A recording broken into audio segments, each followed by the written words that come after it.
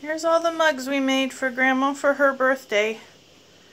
Well, you take one of those for you, and that one for Matt. And Grandma made that one with the elephant. Yeah. That looks fantastic.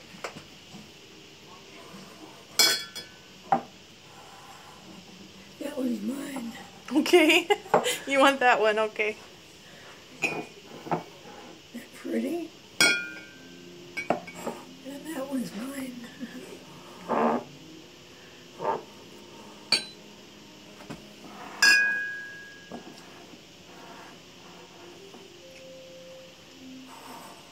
That's something.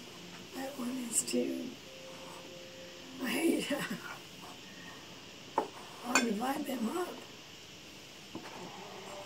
I like them all. They're good. Well, they're for your birthday. Yeah. They're yours if you want them, Grandma. I want each of you to take one, though. Take some.